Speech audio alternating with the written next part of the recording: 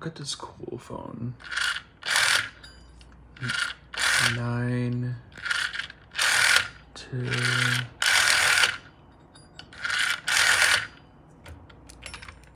Should I try it or what?